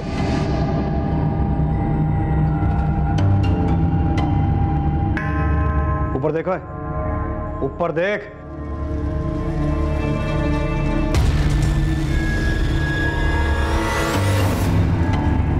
लक्की ओए लक्की सोने सामान उतार। ओ भाई साहब जरा आराम से निकालना बड़ा कीमती सामान है। सुन लिया? आइए मैडम जी। हाँ जी चलिए चलिए। हाँ तो मैडम जी। तूने बीच में से ही जाना है? अच्छा पैसे ले लो जी। हाँ जी हाँ जी दे दो। ये ठीक से उतारवा दीजिए। हाँ जी हाँ जी पक्का जी। आगे भी बुला लेना जी। ले पैसे। ज़ुबान नहीं चला रहा था हाथ भी चला लेता थोड़े। मैंने कल लेने सारा सामान उठाया है हाथ लगा लेता तो मरना जाता तू। लकी वीरे हाथ के मैं तो सब कुछ लगाने को तैयार था। उसको हाथ लगाने देती तब ना। चुप हो जाए यार जब देखो बकवास करता रहता है। ये दो सौ रुपये ज़्यादा दे दिए मैडम जी ने। मैं वापस देख के आता हूँ। ओए पागल हो गया तू। तेनू किन्नी बारी क्या है ज़्यादा पैसे हो ना तो अच्छी बात होती है। बस कम नहीं होने चाहिए पैसे। ओए मेहनत की सूखी रोटी अच्छी चोरी के मालपुओं से। ये पकड़ मैं वापस करके आता हूँ थे रो ओ यार लक्की अरे ओ यार मैं जा रहा खोते थे पुत्र।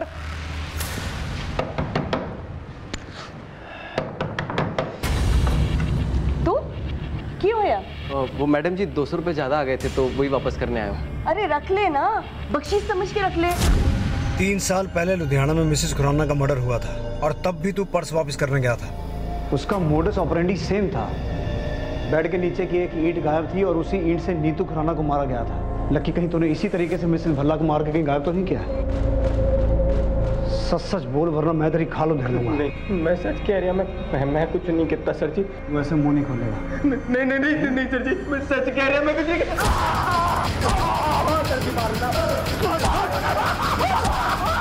परजाई परजाई रूप? लकी किथे किथे छड़ के आया तू? परजाई लक्की फिर से अनलक्की हो गया। पुलिस उसको थाने में पूरी तरह कूट रही है। पता नहीं उसने इस बार क्या कांड कर दिया।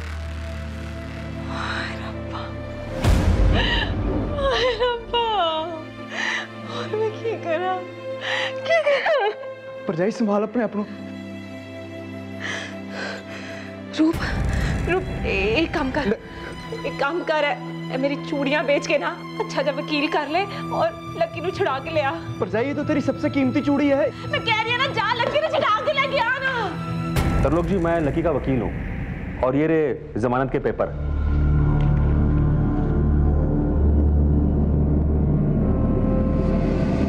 हुकुम सिंह। चला।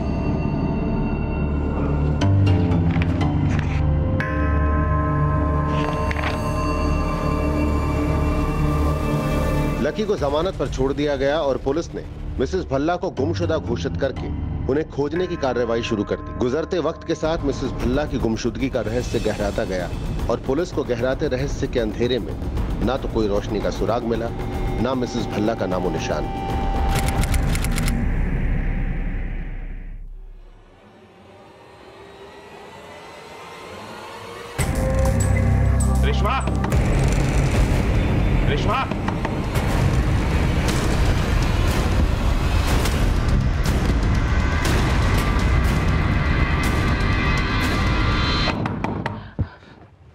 कौन था कोई नहीं जी। कौन आया था कोई नहीं जी। कोई नहीं जी। कौन था आपको वहम हो गया। मैं सो रही थी। सो रही थी तू? ये बनियान किसका है? नहीं।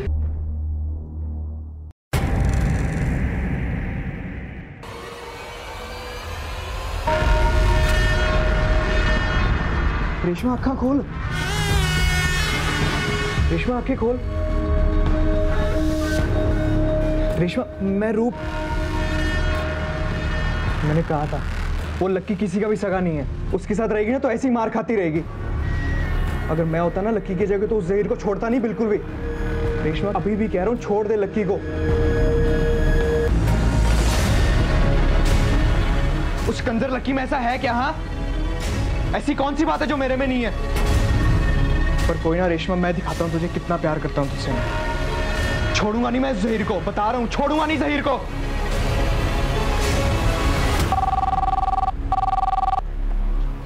हेलो। सर हाईवे रोड के पास एक लावारिस लाश मिली है आप जल्दी आओ।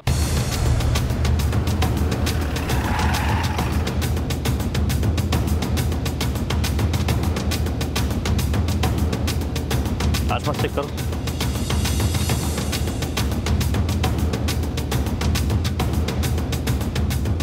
लाश को सबसे पहले किसने देखा? मैंने देखा सर। मैं इधर से शॉर्टकट मार के जा रहा था देखा लाश पड़ी है तो मैंने पुलिस को फ़ोन किया सर। आप लोगों में इससे कोई पहचानता है? जनाब इसके पास से आईडी कार्ड या कुछ भी ऐसा नहीं मिला है जैसे इसकी पहचान हो पाए। बाकी ये देखिए ये एक टैटू बना हुआ है। उर्दू में कुछ लिखा हुआ है जनाब। एक उर्दू एक्सपर्ट को बुलाओ और पता करो कि इसके हाथ पे लिखा क्या है। यही देखिए जनाब खून के निशान है इस पर। इसका कत्ल भी शायद इसी ईट से किया गया है। और कोई पहचान ना पाए इसलिए चेहरा बिगाड़ दिया गया। ईट को फॉरेंसिक के लिए भेजो और बॉडी को पोस्टमार्टम के लिए भेजो। जय हिंद जनाब। जय हिंद। जनाब डेड बॉडी के हाथ में जो टैटू था उसका मतलब जहीर खान है जो शायद इस आदमी का नाम हो सकता है जनाब। हम्म, बाकी आसपास के किसी भी पुलिस स्टेशन में इस उम्र के आदमी की कोई भी मिसिंग कंप्लेंट दर्ज नहीं है। हाँ। फिर भी जनाब हमने उसकी डिटेल्स को अपने डिपार्टमेंट की साइट पर अपलोड कर दी है। हो सकता है जनाब कहीं से कोई लीड मिले।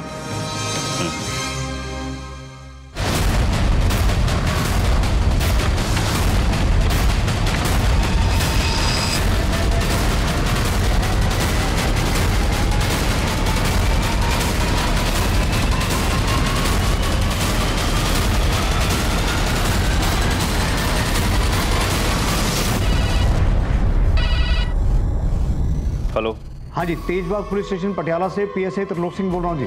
हाँ बोलो सर लोग जनाब ये जो लुधियाना में मर्डर हुआ है जिसकी डिटेल आपने वेबसाइट पर डाली है जनाब उन्नीस में लुधियाना के सेवक नगर में मिसिस खुराना का मर्डर हुआ था। उस केस में हमने जोगिंदर उर्फ़ लक्की को अरेस्ट किया था। उसके बाद जी उन्नीस सौ अठानवे में यहाँ पटियाला में एक मिसिस भल्ला ऐसी संदिग्ध हालातों में गायब हो गई थी। उनके घर से भी हमें ब्लड स्पॉट और ईंट के टुकड़े मिले थे। एंड वेरी इंटरेस्टिंग जनाब उस केस में भी मेन सस्पेक्ट लक्की था। पर जनाब दोनों केसेस में बच के निकल गया क्योंकि उसके खिलाफ सबूत नहीं मिले। अब जिस तरीके से ये जो लुधियाना में मर्डर हुआ है जनाब मुझे बहुत स्ट्रांगली लग रहा है कि इस केस के पीछे लक्की का ही हाथ है। अच्छा तुम्हारे रिकॉर्ड में लगी कोई तस्वीर तो होगी ना? हाँ? हमें सेंड करो। जनाब हम्म, जिस एरिया में लाश मिली थी उसके आसपास जाकर के हमने इंक्वायरी की तो पता चला कि जहीर खान नाम का आदमी कबाड़ी बाज़ार के पास वाले स्लम एरिया में रहता है जो कि कल सुबह से किसी को दिखाई नहीं है। एक बात और जनाब जब हमने उन लोगों को फ़ोटो दिखाई तो कपड़ों और टैटू से उन लोगों ने डेड बॉडी की पहचान की है। उसके घर का पूरा एड्रेस पता चला? जी जनाब। चलो।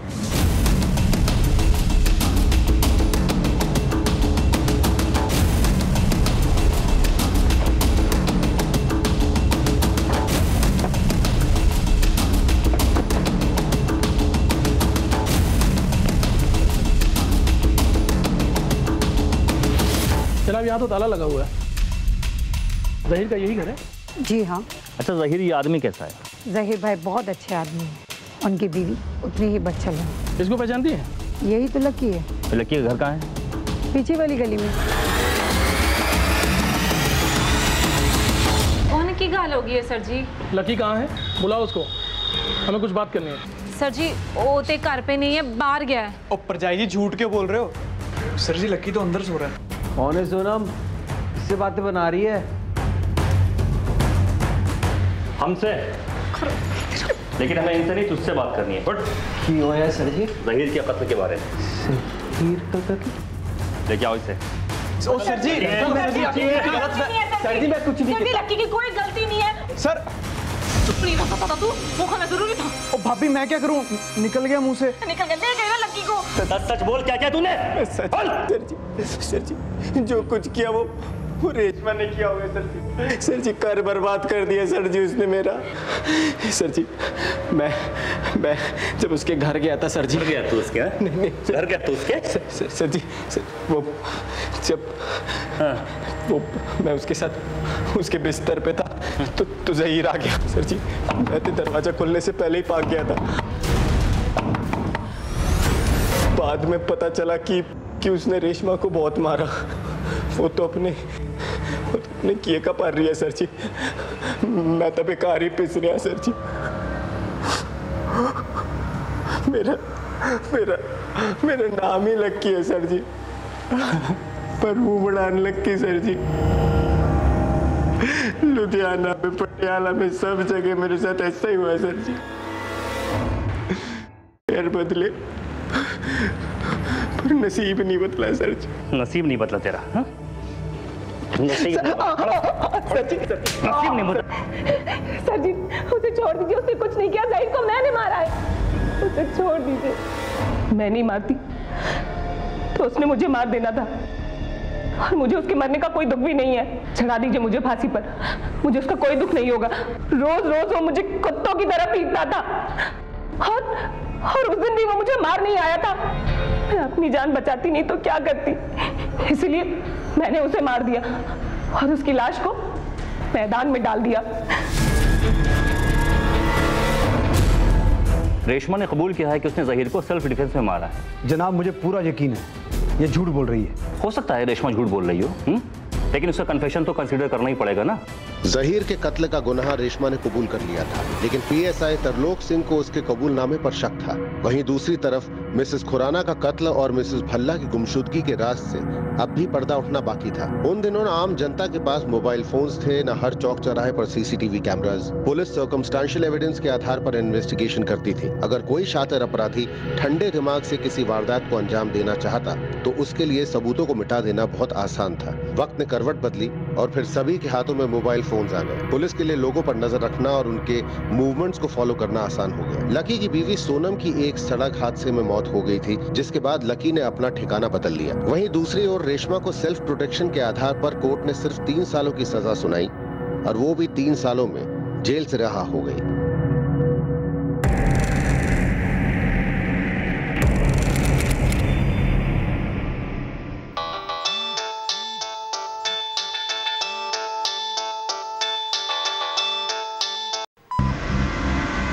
हाँ ढिल्लो ठीक है, पहुँचते हैं।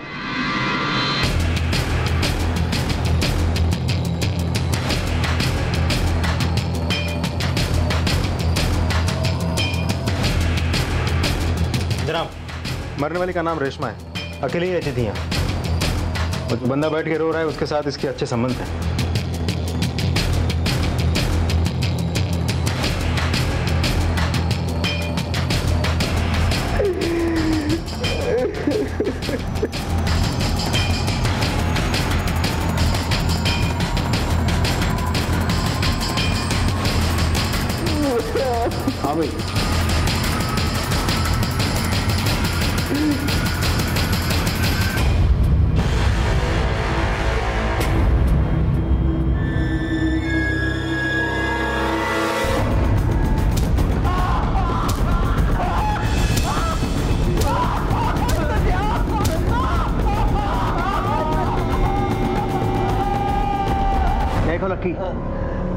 भी तूने वही राग लापा ना देख मैं तेरी क्या हालत करता हूँ। बस सच कह रहा सर जी।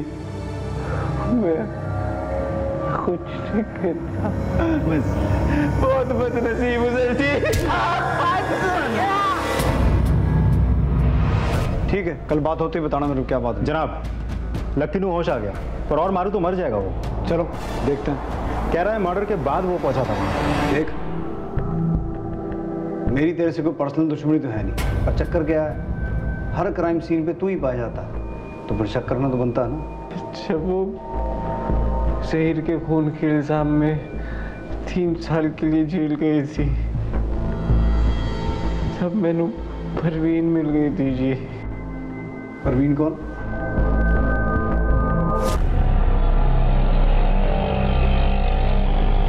बस जी बस रोक दीजिए। की हो गया मैडम जी। तुसी तो 13 नंबर ਗਲੀ ਵਿੱਚ जाना है ना? है तो तीन नंबर ही है। हाँ जी मैंने पता है। लेकिन मेरे पास सिर्फ़ बीस रुपए है। वो आज कोई ग्राहक भी नहीं मिला ना ये वास्ते। अरे छड़ो जी पैसा कोई इतनी बड़ी चीज़ थोड़ी है। बंदा ही बंदे के काम आंदा है। और इतनी रात में मैं आपको कल्ले कैसे छोड़ दूँ? एक काम करो जी आप ना मेरा फ़ोन नंबर ले लो है ना? जब पैसे आए तो वापस कर देना। चंगा जी चंगा। लिख लो जी लिख लो। जी। अठ तीन। हाँ जी। दसा। कहाँ हो तुम? इतनी रात हो गई और अब तक नहीं आए। मुझे ना तुम्हारे बिना नींद नहीं आ रही है। और तुम हो कि कमीनी नाम क्या है तेरा? पे फ़ोन। क्या कर रहा है तू? हाँ? बाहर इधर उधर मुँह मार रहा है। हाँ? भूल गया तू? मैंने तेरे लिए क्या क्या किया है? मुझे छोड़ के जाने की बात कर रहा है। जान ले लूँगी तेरी। अगर मुझे मुझे छोड़ने की कोशिश भी की ना तो जान से मार दूँगी तुझे। मतलब रेशमा से तेरा रिश्ता खत्म हो गया? बिल्कुल सर जी। तो फिर रेशमा का मर्डर किसने किया? सर जी पूरे दावे के साथ तो नहीं कह सकता। पर मेरा प्रा मतलब मेरे रूप पे शक है सर जी।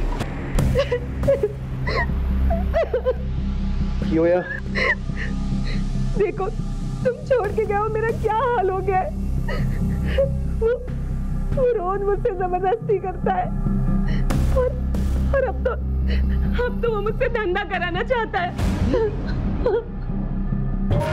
ओए गल सुन मेरी। रेशमा को परेशान करना बंद कर दे। समझा? बंदा बन जा अब ओए कंजर। पता नहीं कहाँ कहाँ मुँह मारता फिरता है तू। कंजर बोल रहा? और मैनू कंजर बोल रहा। और उस दिन झगड़े के बाद रूप मैनू कभी नहीं मिला। ना ही उसने मेरा फ़ोन उठाया। किसी ने मैनू बताया कि रेशमा को कुछ हो गया है। तो मैं, उसके घर चला गया। उसको देखने वास्ते कि रूप ने तो कुछ नहीं कर दिया। मैं अंदर गया तो देखा कि रेशमा मरी पड़ी है। ऐसी भी थी सर जी दुख तो होता है ना किसी के मरने का। जरा खोल दे। देख लकी, फ़िलहाल तो जाने दे रहा हूँ। पर एक बात याद रखियो, शहर छोड़ के नहीं जाना। और तेरी हाजिरी चाहिए मुझे थाने में हर हफ़्ते। और एक बात, अगर रूप के बारे में कोई भी खबर मिले तो हमें बताइए। जनाब लकी के फ़ोन की लास्ट लोकेशन उसके घर के आसपास का है, या फिर वो जहाँ काम करता है वहाँ। लेकिन कत्ल के दिन रूप के फ़ोन की लास्ट लोकेशन रेशमा के घर के टावर का है। और फिर चंडीगढ़ होते हुए दिल्ली, जहाँ phone last time switch off हुआ जनाब, इससे साफ़ ज़ाहिर होता है कि रूप ने रेशमा का खून किया और दिल्ली फरार हो गया। दिल्ली पुलिस को इन्फॉर्म करो और रूप का अरेस्ट वारंट जारी करवाओ। तमाम कोशिशों के बावजूद पुलिस को रूप कहीं नहीं मिला। वहीं लकी हर हफ़्ते आके थाने में हाजिरी लगाने लगा। उसने परवीन के साथ घर बसा लिया था।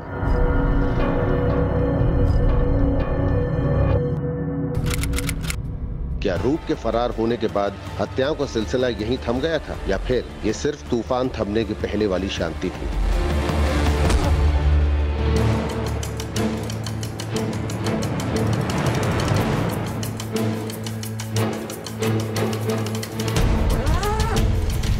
जनाब, लाश तो दो तीन दिन पुरानी लग रही है। शायद किसी ने चेहरा बिगाड़ दिया ताकि लाश की शनाख्त ना हो पाए। हम्म। आसपास सर्च करो शायद कोई मर्डर वेपन मिले। वैसे चांसेस कम ही हैं क्योंकि साफ़ पता चल रहा है कि कत्ल कहीं और किया गया और यहाँ लाकर बॉडी को डंप किया गया। जनाब। मेरा तो कैक्टस का काम है। बहुत लोगों को काट देता हूँ मैं। ये वहाँ कैसे पहुँचा मुझे मालूम इस फ़ोटो को देखकर पहचान सकते हो? कौन हो सकती है ये लड़की? ये परवीन लग रही सर तुम्हें कैसे पता कि ये प्रवीण है? मेरे पास खाना बनाने का काम करती थी। खाना बनाते समय उसका हाथ जल गया था। ये रहती कहाँ थी? पिछले गली में पंद्रह नंबर मकान में रहती। हाँ ढिलो कुछ मिला? जनाब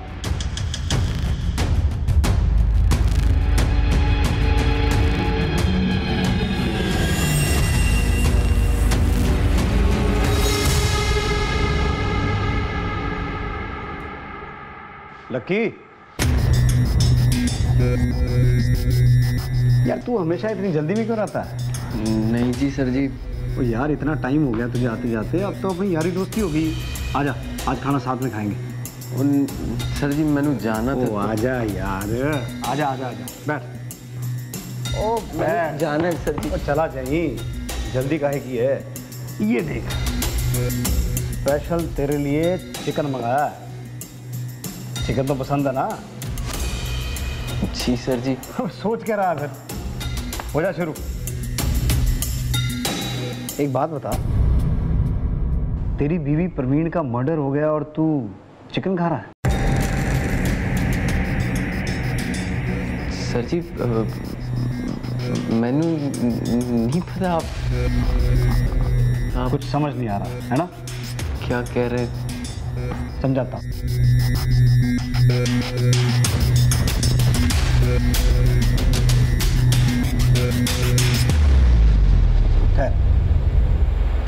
फ़िल्म दिखाता हूँ तेरे और टिल्लो? टिल्लो जनाब इस सीसीटीवी का फुटेज निकलवाओ। शायद इससे हमें ये पता चले कि इस रास्ते से कौन आ गया। जी जनाब। चलो भाई।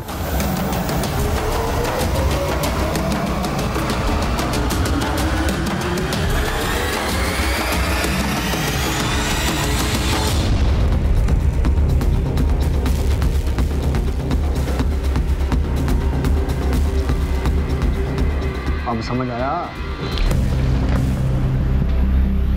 शुरू कर। 1995 से क्या किया था मिसेस खुराना के साथ?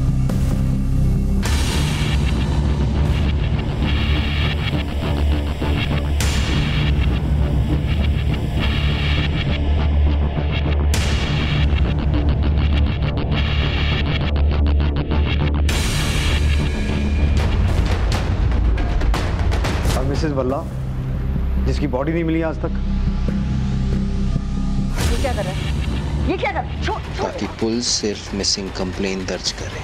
और मैं अगर फंसा भी तो मेरे खिलाफ कोई सबूत ना मिले।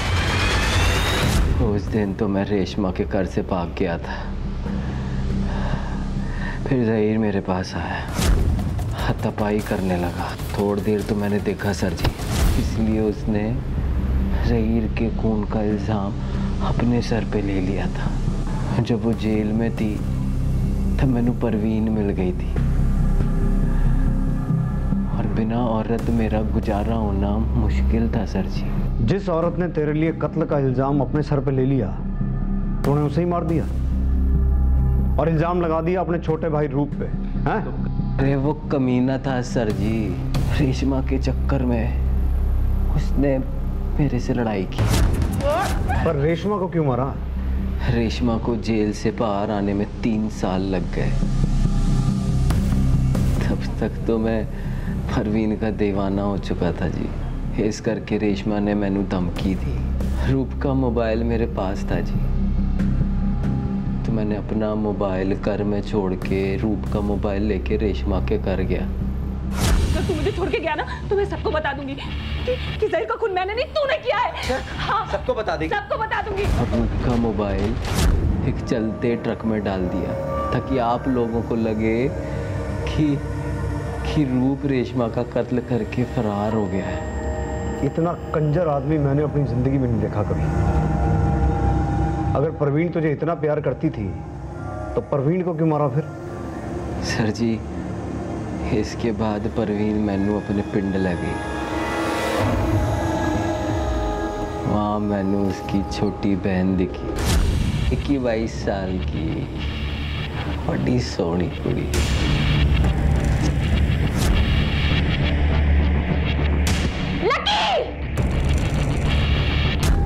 फिर मैंने परवीन का पत्ता भी काट दिया। उस रात वो आप लोगों के पास आ रही थी।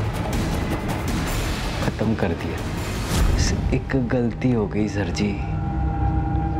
कि मैनू ये नहीं पता था कि जिस रास्ते से मैं उसकी बॉडी लेके जा रहा हूँ उते कोई कैमरा लगा है। ऐसी तो सर जी? नाम ही लकी है। पर बंदा बहुत अनलक्की हूँ जी। अनलक्की तो मैं सी। जो मेरे सामने से तो इतनी बार बच के निकल गया। पर एक गल याद रखी। अज तो बाद तू लकी नहीं हो सकता